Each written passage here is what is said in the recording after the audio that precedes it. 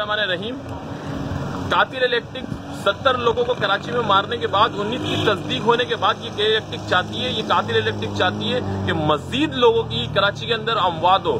शादमान में इस वक्त हम यहाँ पे मौजूद हैं और आपको मैं दिखाऊँ, ये आप हालत देखें।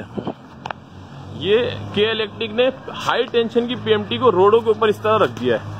ताकि इसकी इससे जो है लोगों की मजीद अमवाद हो। ये देखें ये तो हाल है इनका।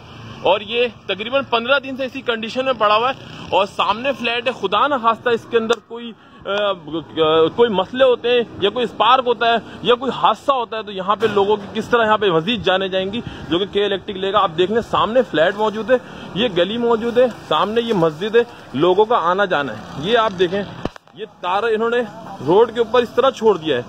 ये के इलेक्ट्रिक मजीद चाहती है लोगों के अंदर, लोगों की कराची के अंदर मौत को लिया जाए, मौत को उगला जाए। आप देखें ये इस तरह इन्होंने शादमान पे, इस तरह इन्होंने पीएमटी को रखा हुआ है। ये देखें, आप हालत देखें, ये हाई टेंशन ग्यारह हज़ार वोल्ट यहाँ से गुजर रहा है, यहाँ बच्चे भी आते हैं, खेलते हैं, ये आप पूरे कंडीशन देखें। मगर ये बेहिस इदारा कभी ज़िंदगी में ना सुधरेगा, ना सुधर सकता है, क्योंकि ये एक माफिया बन चुकी है, ये देखें आप पूरा, ये ये देखें।